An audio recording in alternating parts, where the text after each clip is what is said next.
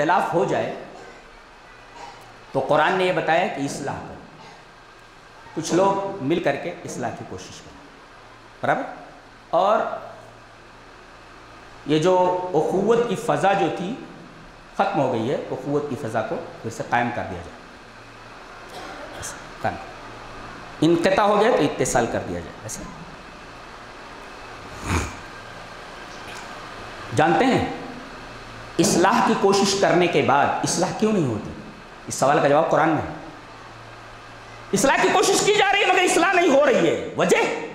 आदमी कह रहा अरे यार, इसलाह करने की कोशिश कर, इसलाह हो ही नहीं रही। कुरान कहता है, जानते हो, गड़बड़ी किधर है? फतकुल्लाह वासलिहुदा तबैनिकुम तुम्हारे दिल में अल्लाह का डर होना चाहिए। तो अल्लाह से डरो और अपने दरमियान इसलाह करो। इसका मतलब यह कि तरफेन में किसी एक के पास तकवा नहीं है, या दोनों के पास तकवा नहीं बताइए।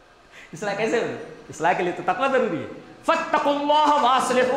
इसलाह को तकवा के साथ जोड़ दिया गया है। और बताया गया कि इसलाह कैसे होती है, वो बताया गया एक बात और कह के ख़त्म करता हूँ। कितनी अजीब बात करता कुरान। जहन्नम में जाएँगे तो ये कहा गया अलैहिमनारुसदा आदमी का दिल दहल जाए। ये लफ्ज़ जो मूसदा लाया गया है। जानते हैं? मूसदा का मतलब क्या तर्जुमा करते हैं हम? उनके ऊपर एक आग होगी जो उनको बंद कर देगी।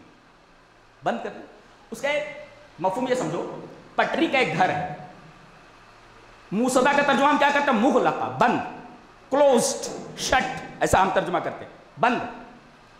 पटरी का एक घर है। आग लग गई है, अंदर लोग मौजूद हैं।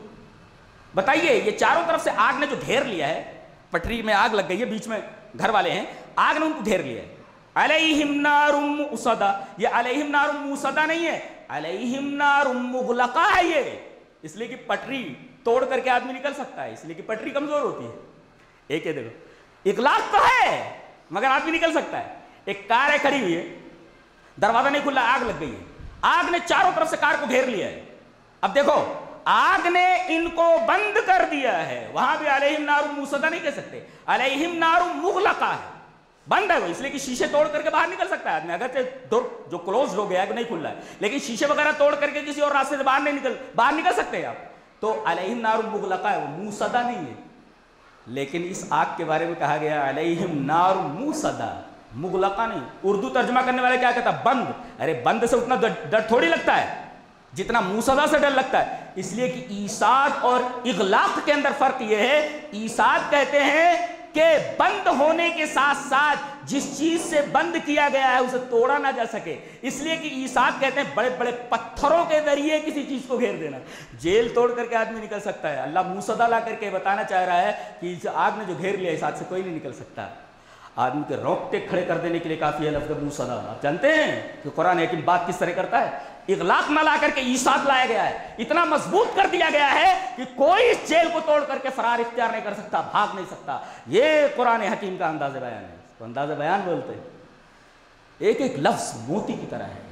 और वही गौर कर सकता है कुरान हकीम, जिसकी अरबी बहुत अच्छी होनी चाहिए। इसलिए कि कुरान अरबी ये मुबीन में है, ज़बान अरबी में। अल्लाह तबारक ताली हमें नेक अमल और अच्छी समझ की तोफ़ी अता फ़रमाए। बाखर दावाना अलहमदिल्ला रबालमीन